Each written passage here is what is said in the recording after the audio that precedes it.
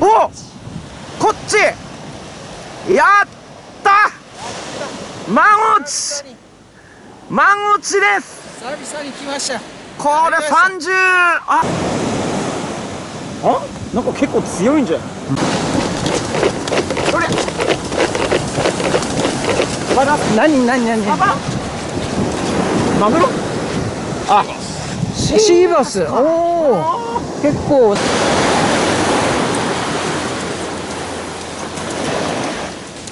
じゃあ行きます。はい。行きますよ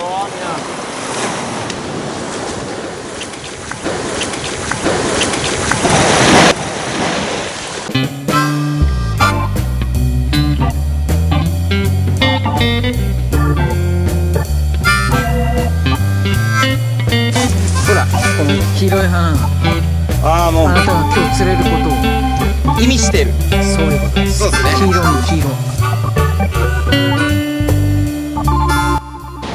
さあ来ました。マタドンサーフ。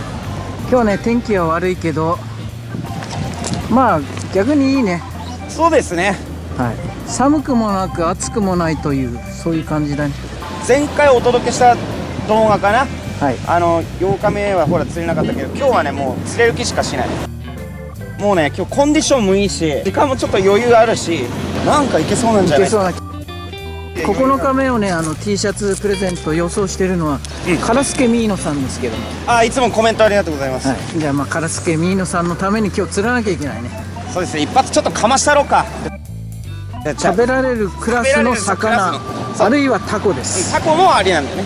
どっちかが来ればカラスケミーノさんに T シャツがプレゼントされると。そういう日です今日は。そうですね。そしてなんでしょう。今日なんか波あんま来てないですね。こあそうだね。なんかとにかくなんかいいね。なんか釣りやすそう。あこの後はありますよね。波、んうん。ここまで来てたの。この黒くなってる部分。結構その日によってだいぶ違うよね波。まず今日かましますからもう。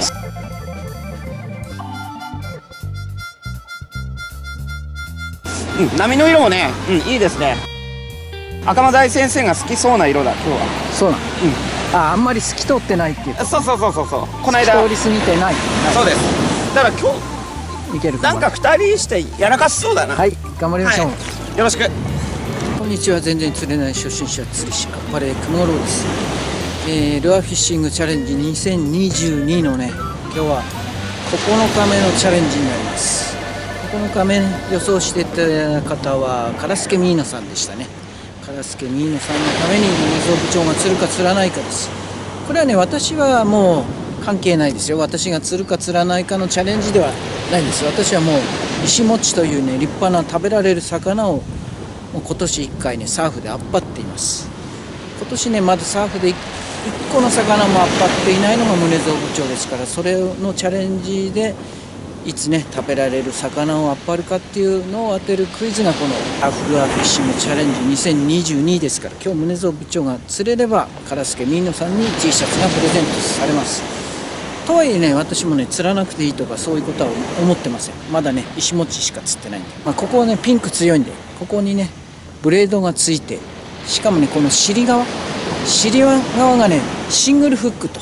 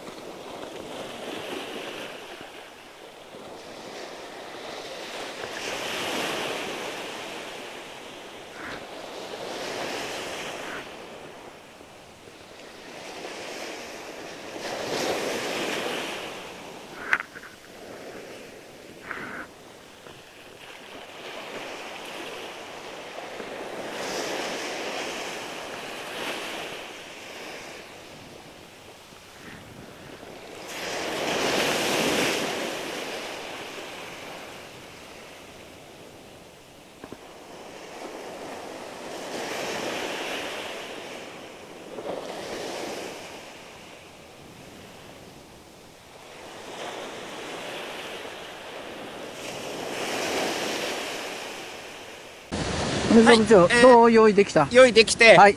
まあ今日もね。ルアーは何？どういうルアーなあの水色とピンクのルアー。これこれも旗丼からもらったような気したんだよな確か。あなた人からもらったのものばかりですね。自分で買ってるんですかルアー。すすいません。まああるんですけどただ使っていないのが。あなるほど。はい。わかりましまあねこれで今日はねたはい。釣りますよ。わかりました。じゃあまあ今日の1投目まあ毎回1投目はね必ず撮影してますけど。1投目？って来たらやっぱりすごいじゃないですか。それ、まあすごいよ。お見せしたいですよね、はい。1投目でそう来る見せたい。け どまあ1だって投目でお見せしたいけどあなたもう100投ぐらいやってお見せできてないのがまあ、まあでもね事実はい。でもでもはい。じ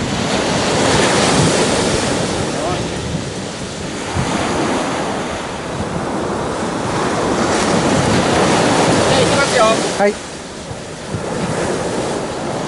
はい行きますあ飛んだ50ぐらいですか。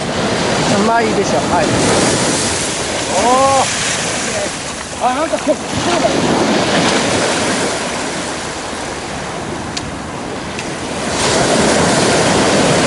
アクションは、ま、赤間大先生に学んだあのなんだっけこの結構細かいしゃくり？そう。しゃしゃくしゃくりっていうかその結構ね。このシャキシャキした動きというそう。かねただ、ま、巻く巻くのもいいけど動くねあの、ルアーを動かすのも大事。ねうん。まあいろんな方法があるんでしょう。まああと止めて止めたり動かしたりでね。まあいろいろね。はい。探り探りはい。やっていきます。はい。今日はねやりそうな気がするんですよ。まあ毎回やりそうな気がするばかり言ってますけど。ごめんなさい。なかなか期待に応えれなくてどうですか、一1投目の当たりは来ないですか、今日も来なかったですね。じゃあまあまず頑張ってください。ということでね1投目で次に来ることはなかったようですけどもね。なんか波が伸びてくるね。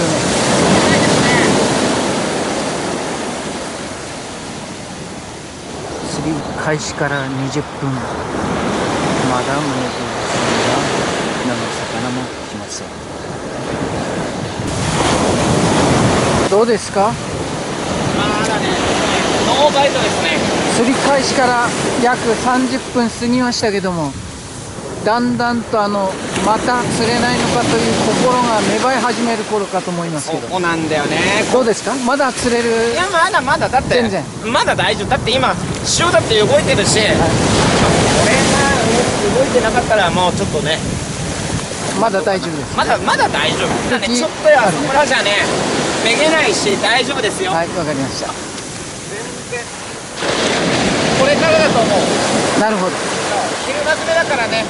昼間詰めっていうのあんだ。勝手に僕がはいわかりました。昼間詰めっていうのをはい。ああやってね強がってますけどね。実際このぐらいまでね30分ぐらい当たりの1個もないとね我々はもう坊主慣れ坊主慣れ坊主慣れ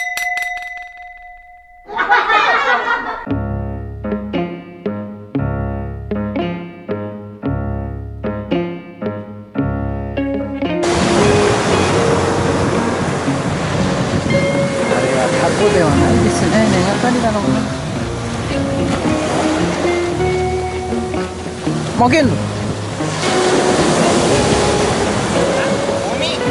ゴミ。じゃあタコかもしんないじゃん。負けるんだったら。え負けんの？今も履けなくなったっす。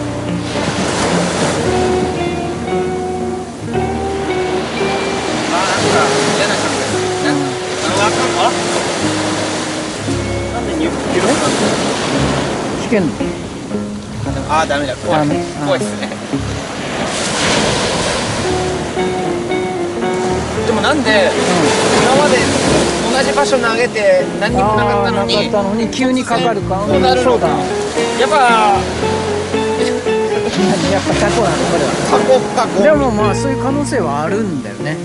だって今まで俺たちだってさほんと15分とかほっといたっきゃ動き出してタコだったっていうことがあるんだから。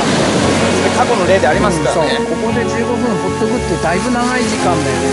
15分がもったいないんだよな。それがなかなかできなくて無理して引っ張って切るっていうパターンだけどね。そうなんですよね。ちょっと。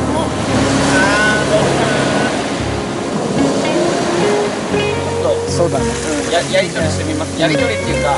5時間5時間ぐらい待ってみたらどうだね 検証。5時間待つとど5う。なる時間待つとどうなるかね。なんで部長釣れないの？じゃあ。理由がわからねえよ。うわ俺の俺の昨日さ引っ掛けたジグ俺の俺の昨日さ引っ掛けたジグこの白いテープ貼ったジグね。私。自分のなんですよ。昨日ねロスつまりこのタコに逃げられたっていうことが分かりましたでこのジグずっとこのタコつけててかわいそうだけど。で今日私に釣られてしまったと。そうだまあ根がかりじゃなくてタコだったとしてももう離れないよ多分。どっかにへばりついたな。らへばりつける場所があったんだけ砂浜にへばりつけるわけじゃないんですからね。ど砂浜はないけどでもどっか何かはあるかもしれないよ。大きい岩とかさ。あうん、だって今まで何回かあるんですよそうだよ。そして次の日に前の日に根がかりだと思ったルアーが出てきたことがあるじゃないですか。あれは奇跡回ですでそれまあその戦い終わったらちょっと場所移動しない？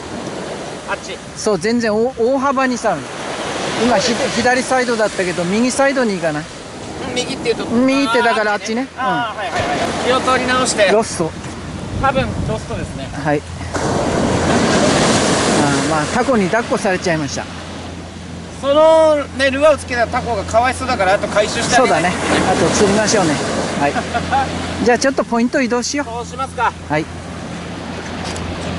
歩いたかな、はい。宗蔵部長改めてあのポイント移動したことで意気込みを語ってください今から釣りを始める気持ちなんでそうだね。さっきのは何もなかったっていうことでお願いします。そうだね。今までのは関係ないと。関係ない。こ今からスタート。ね。本当の釣りなんだ。来た来た。早く取って。来たよ。何か来たよ。魚だと思う魚。おなんか来た来た。やった。久々の魚マゴチやった。あ来たはい。あっぱれ熊五郎さん何か。タコか。石持ちか。なん。タコだ。お。お。こっち。やった。マゴチマゴチです。これ30あこれね完全に口だから狙ってたね。そうだね。いやーやりましたよ。なんていうか狙いと違ったけどね。青いルアーに変えたら急に来ました。えー、でもまあまあのサイズ。久々に魚だね。うわーすげえ。サーフで魚。魚を釣りました。いやったやマゴチマゴチ2022はマゴチ初です私は。あーサーフだよね、はい。あ冷蔵部長釣ってください。います。ああー大丈夫。大丈夫。こういうね油断するとやばいです。そうですだ大丈夫ですか？大丈夫じゃないです。大丈夫じゃないんでちょっと今まず傷を早く。一旦これ外し。久々に。マゴチです。久々に来ました。やりました。30あ完全に口だから狙ってたね。そうだね。いやーやりましたよ。いやー全然なんていうか狙いと違ったけどね。青いル青いルアーに変えたら急に来ました。いやー。でもまあ久々に魚だね。嬉しいです。すサーフでやりました。魚を釣りました。いやっやーマゴチあマゴチ2022はマゴチ初です私は。あーサーフだよね。はい。早く胸臓部長釣ってください。います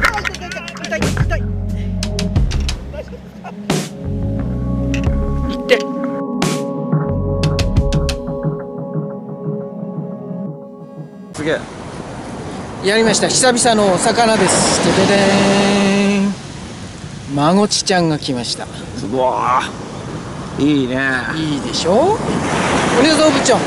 頑張ってください。あああと俺だけだ。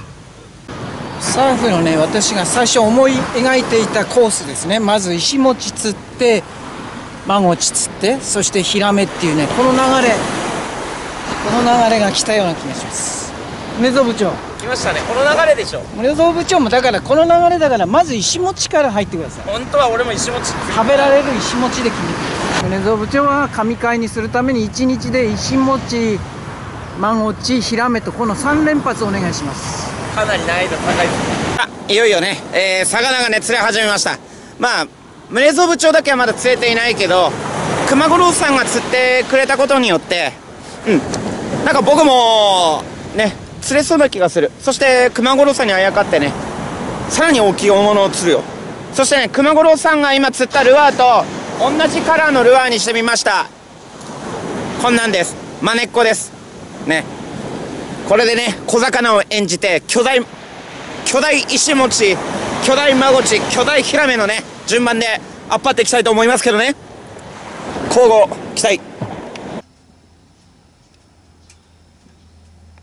さあこのねマゴチちゃんが釣れてからもう1時間以上経ったでしょうかね。釣りを始めてからはもう3時間を超えております。またまた熊五郎ね米蔵部長のがむしゃら釣り。根性釣りとなっておりますけどね。その後ね熊五郎ばらしましたけど1回はね魚っぽいに来たんですけど米蔵部長はどうでしょうどうですか？魚っぽい？何か来てる？何も来ない？あ切れたんじゃない？頭大先生どうなの？あ鳥？あ鳥？あ鳥？釣ったんじゃね鳥？釣ってんじゃな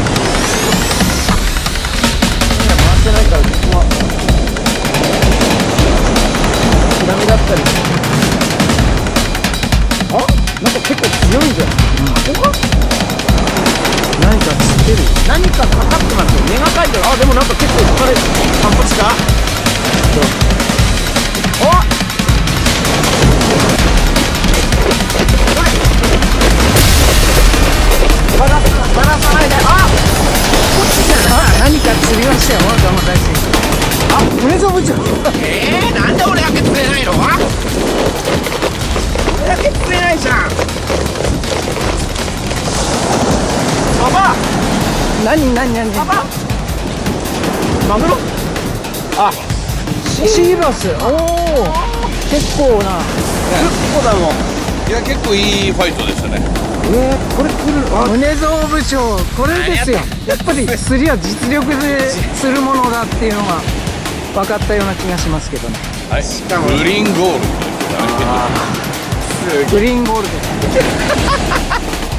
すげえんすけど。はい。えーとですね。はい。えーとですね。はい。やっと生き物が釣れました。ただね、えー残念。あのー私たちが狙ってるものではないです。まあねこんなんですね。キッズ。キッズクラブが釣れましたこのキッズクラブなんだろう渡りガニかな。いいですね。なんとかまず釣れました。宗蔵部長雨が降ってきました。はい。やめますか。ダメですね。ギブアップですね。9日目予想していたカラスケミーノさんにお詫び。すいませんでした。はいあのせっかくねあの予想してもらってまた期待に応えることができませんでした。この先にね当たる可能性あるのはあと2人です。あのいますね。はい。まだあと2人います。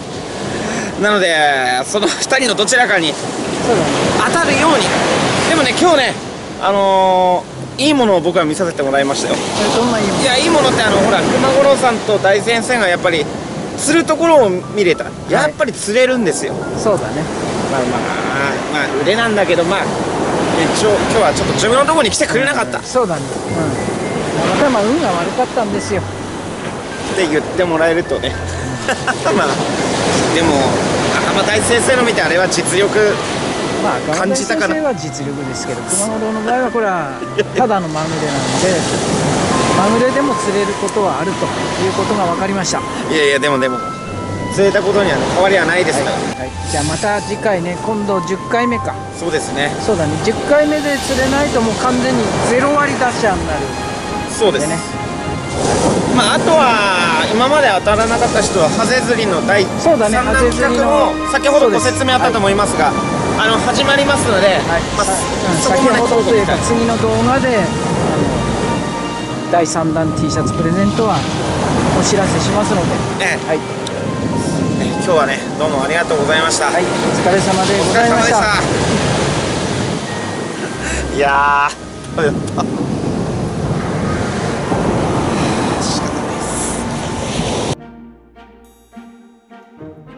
2022は孫ち初です私は。ああサーフだよねはい。あー米蔵部長釣ってください。います。あー